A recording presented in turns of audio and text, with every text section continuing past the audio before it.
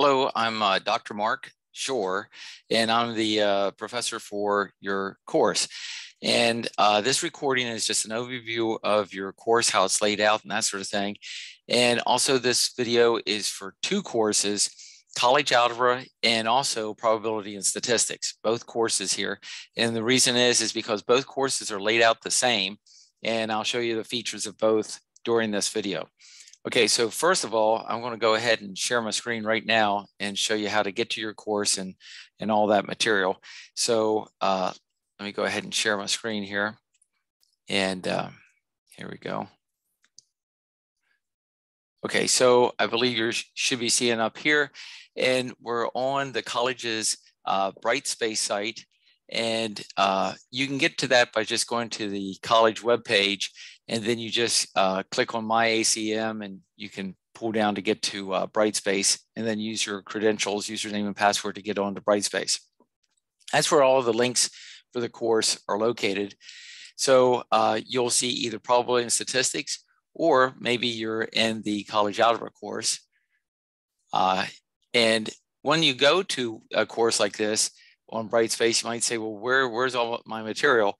Well, it's all under content so if you click content, then you can see everything. And you want to start by looking at the overview. And the overview tells you, it gives you this video link right here, which is the video you're seeing. And um, it tells about the course, talks about uh, Math, which is the where everything is located. You go to Brightspace to get to My Open Math, which is abbreviated MOM, and that's where all your homework assignments, uh, tests, uh, and uh, also even your grade book is located within MyOpenMath. And uh, on this overview, it also uh, talks about where you can get help through the videos, the textbook. There's videos on the textbook in the start of every section and also in the uh, exercise set of every section. And there's also videos linked and uh, written examples linked on the homework problems within MyOpenMath. And there's also a math forum on there, and I'll show you all that uh, information. And there's also a way on MyOpenMath that you can message me. And the uh, messaging and forum feature on MyOpenMath is much better than email or even Brightspace because it attaches your problem to the problem, uh, to the message, and also to the math form automatically. So that's nice. And also it, it allows you to type in math uh, font that you know you can really see what you're talking about. So anyway, there's my email. This eh, I would use only for non-math issues, uh, like you're sick or something and can't get uh, make a test at a particular time or some issue like that. Um, uh, but I would use the math form or the message feature on MyOpenMath for math questions, and you'll see that I'll show you that in a little bit. So uh, that's the information. So you can read through that right there. And then we go on down to the table contents area and start here. Um, we'll go through that real quick. And, uh, and I know you can go through this on your own, but there's a course introduction, just tells you the course. And uh, I may be using this video for a while, but uh, initial task to complete, uh, then uh, meet your instructor. And I'll show you something here. This is again saying the things about MyOpenMath, the email, uh, and that sort of thing. And uh, so that's really the information in that area. And then moving on, uh, uh, Netiquette expectations. And then here is your textbook link. Now, as long as you didn't opt out of anything uh, during registration, you will have a textbook link right here. If you're late in registering, it usually takes about a day for this to uh, to show up on your site. So uh, this is for the college algebra book. You just click read now and you got it uh, because it was part of your tuition. So uh, hopefully you didn't opt out unless you already had the book from a previous year or something like that. So, uh, and that's true on both. And I'll show you where we are here. See, all we did is we went through the start here area and now we're down to textbook. And I'll switch over to um, uh, the probability and statistics area. So up here, you can switch your different courses and show you that it's the same thing that you click on content to get to your content and you have your overview like we just went over and then you have your start here that we just just showed And I'll go through that real quick and show you that it's the same. I thought I had maybe some extra information here, but uh, meet your instructor. Let me check that one second and see if that's any different. Uh, yeah, I do show here. I show the uh, the uh, uh, grade book on my open math how it works, and I'll do that in college algebra and copy that over too. But I'm going to show that here too. So let's uh, continue on with the content. The textbook, by the way, um, has the videos in it. It also explains how the Excel sheets work in either course. And also when you click on it and it opens, here, I'll go ahead and do that. Click on that and then you open the textbook. See, like this is a probability and statistics textbook. And you just click read now. Um, some of the questions in the homework assignments will refer to the textbook and uh, not all of them. So if you don't have the textbook, like you uh, enrolled late in the course uh, and you don't have the textbook the very first day, then you can do other homework problems that don't refer to the textbook. But like I say, like here's section two, one, you can go through the different chapters right here. Like here's chapter one, and you can do the pull down if you want to go to a particular section. Like here's section uh, chapter one, and here's section one, two. And you see this has two videos that you can just click on right here and watch videos of uh, this material. And then at the end of this section, you can just scroll down and uh, at the end of this section, it's not a big section, there's a video showing almost all these homework problems uh, being worked out right here. So you, and there's also uh, answers, if you just want to look at the answers to these homework problems, uh, there's a uh, thing at the end, solutions to homework problems. You can click on that and I'll show you answers to, I think, odd problems there.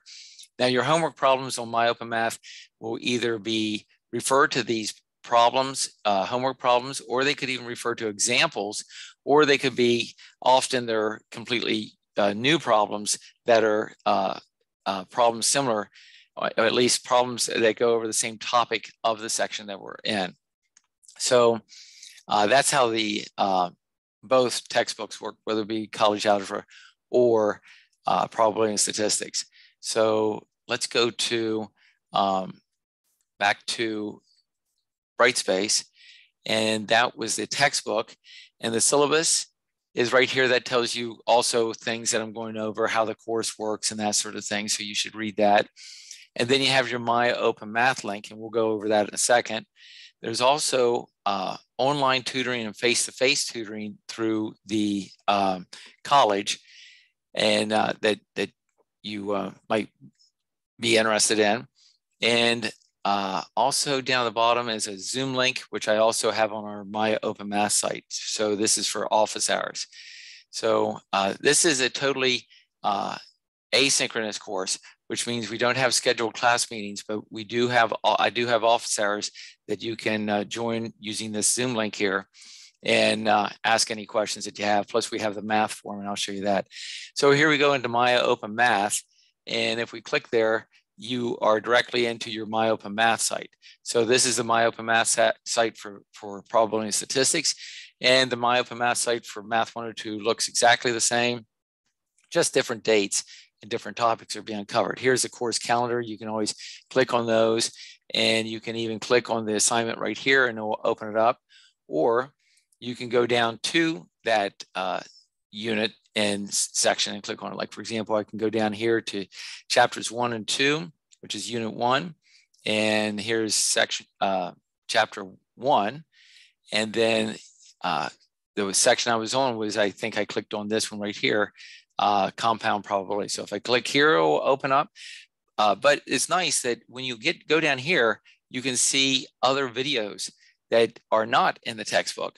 For example, here's a full in-class video for this section. So every section has a full in-class video. Plus when you go into the section, so I'll do that right now, there, here's your home, uh, homework assignment for homework two. Uh, when I start this, uh, you can, um, it tells you about it. Remember, uh, you only get one attempt on problems that refer to the textbook, but I think I, that may have changed, so always check that. And it says um, uh, uh, but you get more than one attempt, actually five attempts, plus you can uh, regenerate new problems if you still miss the problem after five attempts. I'll show you that in just a second. So let's finally get to uh, the problem here. So, um, so this one says, using the table in section 1.2 uh, on gender and class in the textbook was it probably selecting a female that was in statistics. So this is saying referred to the textbook. So we would have the textbook open and let's go ahead and do that again here. So in the textbook, uh, and so I would just keep this open when you're doing the uh, homework so you don't close it like I did. And we'll click the read now. And I think it was 1.2. I'm just showing you how these uh, problems that refer to the textbook work. So if I go to section 1.2, I can either scroll down or I can just go here. So I'm in 1.2. And let's see what that problem said here again. It said, let's see, is this here? Here, let's see. Here we go. It says, um, uh, using the table in section 1.2 on gender and class in the textbook, what is the probability of selecting a female that was in statistics? Okay, so let's check this, find this table. So uh, female that was in statistics. Okay, here we go. Female statistics. Okay, so they had to be both here, female and in statistics. So that looks to be uh, 40 of them out of the total, which is 175. But see these, you'll see problems in here that go over it, and these videos go over this material too. So it looks like female, uh, female uh, in statistics, there's 40 people in there out of the total number of people, 175. So let's go back to the uh, uh, problem, make sure that's what it's asking. Uh, what is the probability of selecting a female that was in statistics? Type it as a fraction. I think it was 40 out of 175. And let's uh, submit that question. And notice, see, when you're clicking here, you get this whole equation menu. So it says, give your answer as a fraction. I just used a little slash key underneath the uh, question mark on the keyboard. And you definitely want to use a computer for this course, not a phone, and definitely not a Chromebook either, since they don't have hard drives. So uh, I'll show you the other way you could type this in is to uh, click this fraction bar and type in 40 over 175 like that. And I think that was, was the numbers. And boom, we got it right. Let's see, uh, I'll do another homework problem. I'll answer it wrong and let's see what happens. So I'm not gonna look this one up. You can do this one, but let's just make a guess and it's gonna be wrong. And then it says it's wrong and it says next question or get a similar question. So you do get more than one example here. So, um, so when I say get a similar question, it gave me a different one.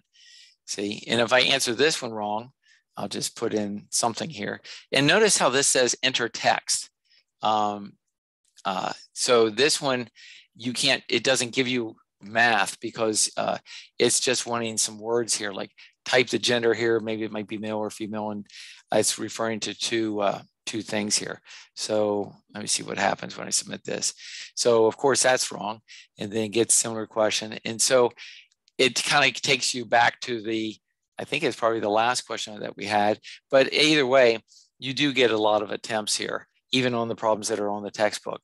When you have a problem that's not related to the textbook, let's keep on going and get to one that's not related to the textbook. Like this one, here's the material right there. Now, when you type in your answer here, again, this is a numerical answer you can see with, a, with all this sort of stuff.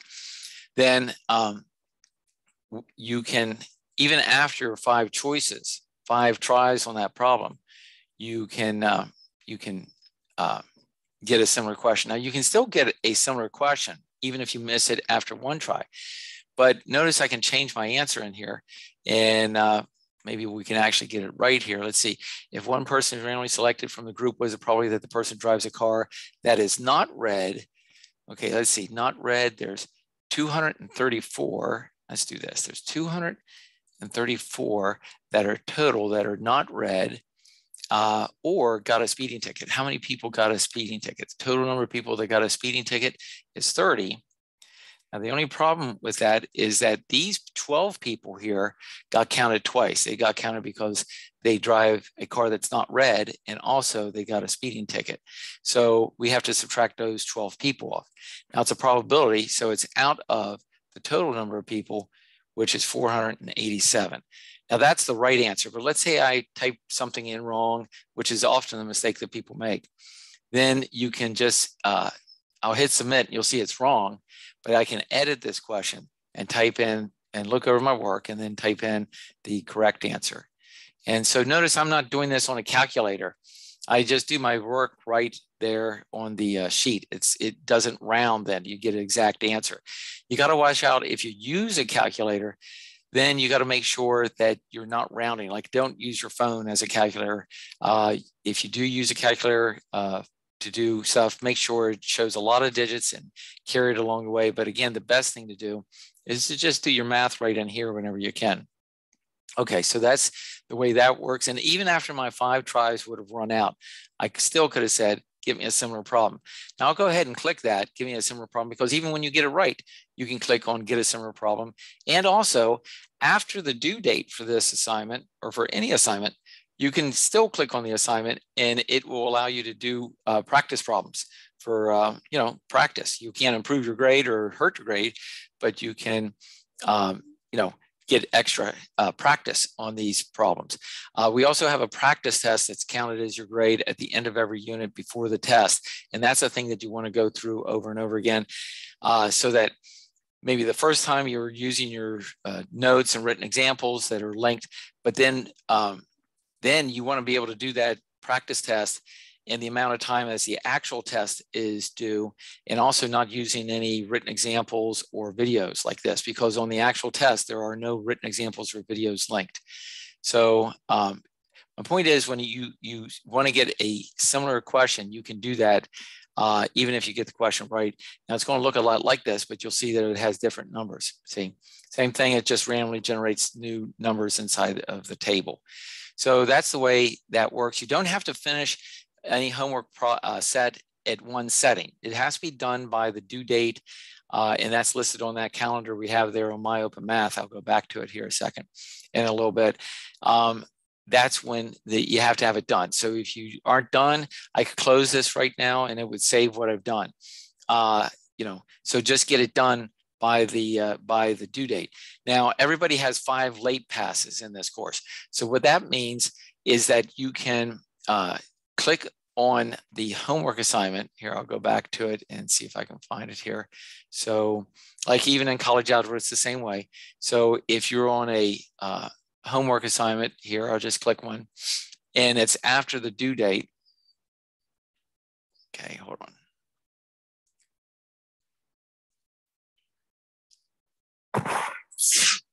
Sorry.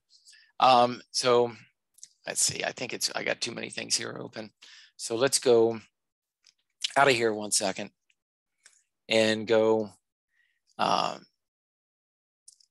like down here to a homework assignment. If you, you see that this is due uh, August 26 at 11.59 p.m.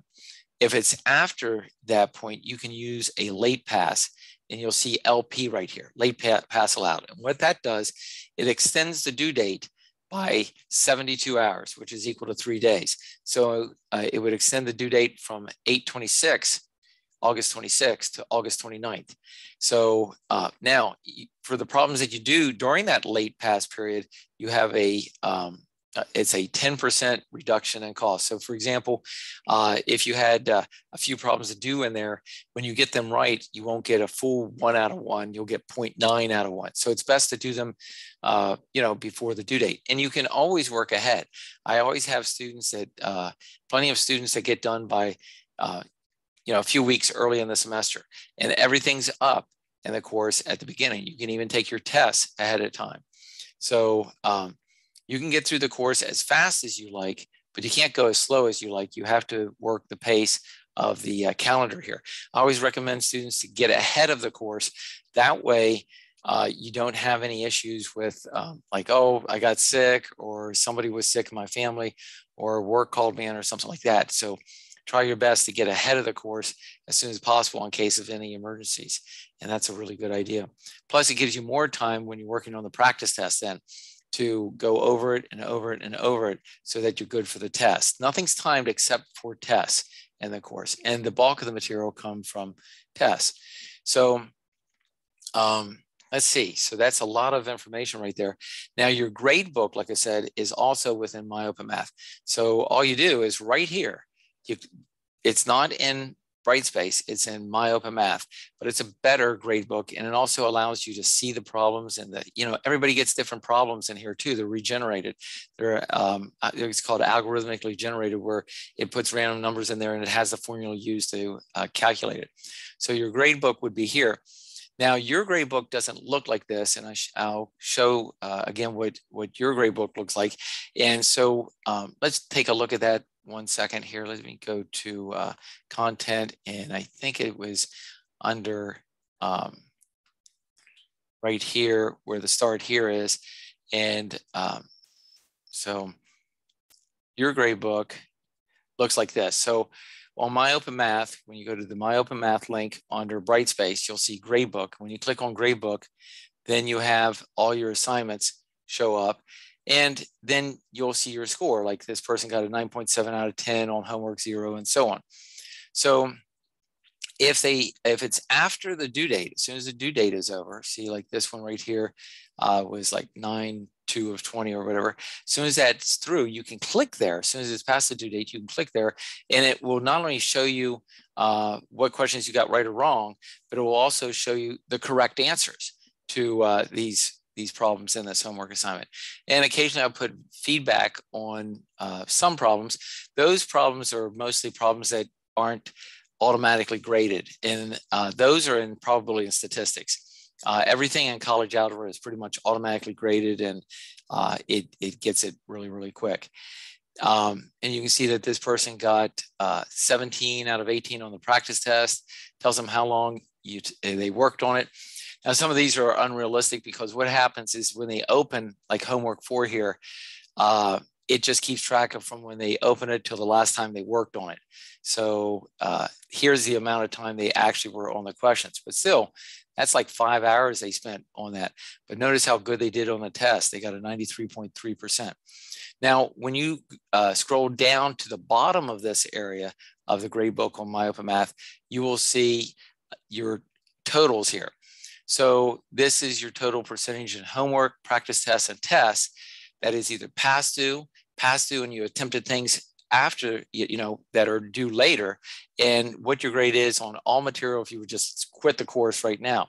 So like this person has a uh, right now their grade is at this point in the course it's a 91.8% they've done some extra things and at this at this point using the extra things that they could still work on you know, like beyond the due dates, they're, they are uh, farther ahead in the course. They have a 91.5%. And because it's still early in the course, if they stopped right now, they would only have a C in the course, but they didn't do that. They continued on and uh, got a, a good um, a grade in the course. So, so if you say, what's my grade right now? Here it is.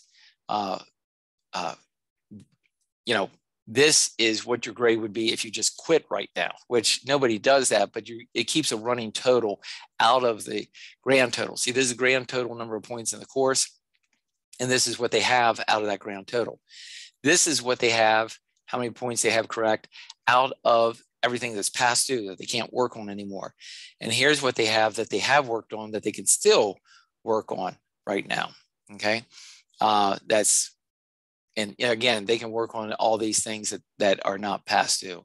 So that's the way the grade book works right there. So it's really useful. Uh, and you can see the right answers after the due date and all that stuff. And I, I really like this system. I spent a lot of time developing this system and working on it uh, so that, you know, it gives you all the amount of uh, tries you want or that you need to, to be successful in the course. Now, in the course, I'll go ahead and uh, talk about this, uh, just looking over my notes. Uh, so again, places to get help. Let's let's show you that again. So when we go to uh, Math and we're in a uh, an assignment, no matter which course it is. So I'll just click on this first one right here. Then uh, a lot of these uh, problems have either written example or video or both. So like this problem right here, I think there's a little written example on it. And it says the probability that an event does not happen is equal to one minus. So that it just gives you a little sentence right there. But if we move along and you can jump down to any problem, let's go down to some of the last problems. This one has a written example and it gives you a example actually on this one. And you would find a similar example in the textbook too. How many outcomes would there be in this? And it, it works it out for you with the solution. And you see that's very similar to the question that it was asked. And uh, I don't know how many, we have very many videos here, but like here's one on roulette. It's a roulette table. It describes it here. Uh, here's a video that, that's linked to show you how a roulette table works. And then look down here, it shows video one, video two, and post the form. I'll show you post the form here real quick. So with post the form, the way that works is um, you would uh, see it automatically shows your question to everybody in the class. So it's fine that uh, some people might be embarrassed about that. I've heard that before, but I mean, you have to be able to, if you're going to ask a question, everybody uh, has the ability to help you in the class, including me. So then what you do is here's your question and it will show what you tried. And then you can type in something like, I tried to do this, I did this, but don't just post the question without showing what you did because that basically is saying, um, I want you to do my homework for me. So there's a lot of places that you can get help before you send it to the form. So what you do is you use the uh, use the textbook, use the videos, use the written examples, use the full length videos that are that are attached to your uh, site. And then when you don't get it, say, well, here's what I, you know, even when I see your answer here and I see that it's wrong, I don't know what you did. So you need to say, I did this, I did, you know, this type of thing. Now, some things might be very obvious, like it's just a fraction, you typed in the wrong fraction. And again, often the mistake is just people make typos. Either they read a number, they type in the wrong number, or so on, like that. So this is where you would type in, you know, I uh, I did this, and so on, like that. And you can even attach files here, and so on. Now, a lot of times, this leads into this is that we're using uh, an Excel workbook, which is linked to your MyOpenMath site for the course. So for college algebra, it's this 102N sheet. And for uh, statistics, it's ESP4 sheet. So you can see they look very, very similar. What you do is you, it, uh, each section uses a different sheet. Like in statistics, it might be binomial sheet or the raw data sheet and that sort of thing. And in uh, college algebra, it could be the linear sheet, uh, here, I'll open this up a little bit, linear, quadratic, and so on. And you probably want to open these up full screen so that you can see everything on them. Now these sheets, whether it be for statistics, college algebra, are, are made that you type it, you can type in the white cells and it gives you answers and the green cells. So you don't have to work out a lot of things by hand in these, uh, these courses. It does a lot for you. Like here in this raw data sheet, if I type in uh, some raw data going down here, um, I'll just do a few. You can see it calculates the mean, median, range, sample variance, population variance, first quartile. You can type in here to get a trim mean. You can type in here to get a type in a percentage, and it will give you the percentile that uh, all that sort of thing. So it gives you everything. It does uh, so much for you to get uh, that you don't have to work out very many things by hand at all. And it's uh, that's also true with the 102N sheet for college algebra. So some people ask me, well, what calculator do I need? Well, really, almost everybody uses the Excel sheets and don't doesn't use a, a, calculator. In fact, I would say everybody does because these sheets are just so much easier to use than a graphing calculator.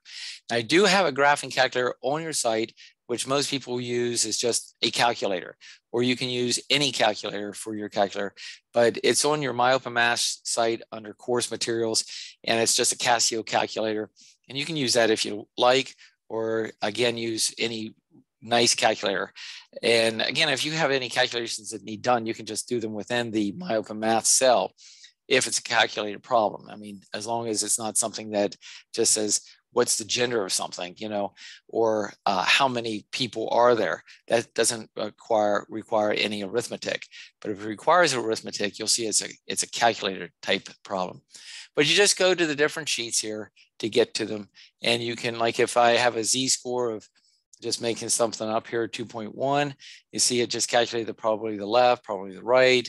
And the textbook and the textbook videos and all these things are linked with this these Excel sheets that they say, oh, we'll go to this uh, Excel sheet, go to your Z&T sheet and go to the third section down and, you know, someone like that, that you might be using. See, like this is the third section, might tell you what to use or what to do in your examples. Uh, in the textbook itself, it actually shows these Excel sheets and the videos show these Excel sheets too. So really it's been like over the last 20 years that I've put together the Excel sheets, I've put together the videos, put together the uh, My Open Math generated problems, and you know I just have thousands and thousands of hours into uh, developing this these course materials that uh, really you won't find at any other college, to tell you the truth. And that's why our success rates in these courses are just uh, gigantic compared to um, other colleges and university. General around the country, you see a pass rate around 50%. Our pass rate in uh, probability statistics is above 80%, and the pro and the uh, success rate in um, uh, college algebra is above 70%. So, uh, you know, it's about 75% in the one and 80% in the other, which is really, really high compared to national averages. And that's because you can't hardly uh, make a mistake if you type this, the material into the correct cell. It's going to get you the answer. You're not having to go through and using these formulas. I show the formulas here, but you do not have to use these formulas to look answers up in tables like they did in the 1950s you have this material. So um, now, if you have Excel, I'm just looking at my notes here. If you have Excel on your desktop, that is great because you will get this Excel version that looks like this. And you can tell it real quick because uh, there's buttons on it. And um, these buttons have little macros. Like if you click here, you see a, does a random number here. And, uh, but if you don't have Excel, then don't use Sheets or something like that that's on Google. Use um, use your uh, OneDrive, uh, use your email, and on your email you will see a uh, the apps, and one of the apps is Excel, and that will give you the uh, uh, web version of Excel. Now, the web version of Excel isn't as awesome as the web version is a free version of Excel, and the free version of anything doesn't. They won't give you all the features, but it will work uh, for the course and it just doesn't look as nice. The buttons don't work here and that sort of thing. But I don't want to make anybody go uh, get the real version of Excel. But if you do have the real version of Excel, it definitely is nice. Like, for example, uh, a lot of things are just copying and that sort of thing. Like here, copy. Uh, we'll copy a table that's made up. So I, will show you that real quick. Um, so let's see, we wanted this in like two groups and see it did a table for you. Now you want this same table over in the group data sheet.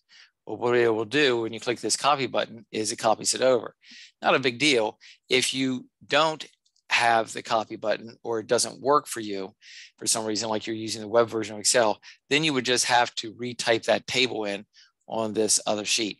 Now that's true on um, other sheets too. Like there's an ANOVA sheet, the last sheet that we use is called ANOVA in this course. And when you type in your data over here, it is a little copy values button and you say yes. But if you don't have that button working because you're using the web version of Excel, then you have to go over here and get these values that would be in here and um, uh, retype them or copy paste special them into this area right here. And again, use, if you're ever copy and pasting within Excel, use copy paste special. Uh, so these are all things that are explained in your uh, uh, book there. So, okay, so I'll stop right there. And uh, again, my office hours are listed on the uh, uh, My Open Math site under the Zoom link that we have. Let me see if I can show that. And you are not required to attend office hours, but that is a good place to come even for a short period of time if you just have some question. And uh, again, that's listed on the your My Open Math site under the uh, Zoom link. And let's see if we can find it. There's your course materials.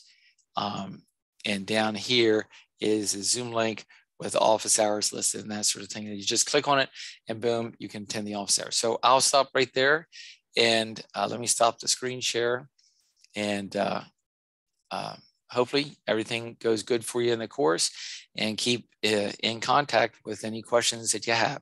Okay, thanks a lot.